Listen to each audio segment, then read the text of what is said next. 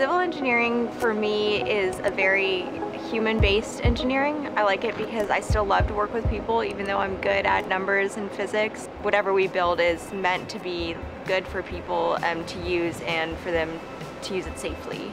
It makes the civil engineers very proud of their work and so I, you know, even in my classes I work with really focused and really uh, hardworking people and I think that's just kind of like part of our culture because we know what we do is important to the people who are going to use it.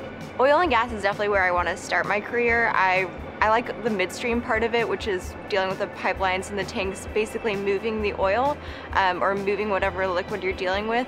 It's something that we all use. It's the energy that we run on, so I find it very practical. Um, and so that kind of like midstream part of it is what interests me. One of the most memorable experiences at Tech was probably when I did the Mini 500, which was the mini tricycle race. It's something I never thought of ever I would do. And it was really fun to race around in this tricycle and it was a relay race with um, three other girls in my sorority and it was during homecoming week. We ended up winning, which was really exciting. Civil engineering is definitely challenging, but I make sure to have a lot of personal time. I always like to work out every day. I never give that up.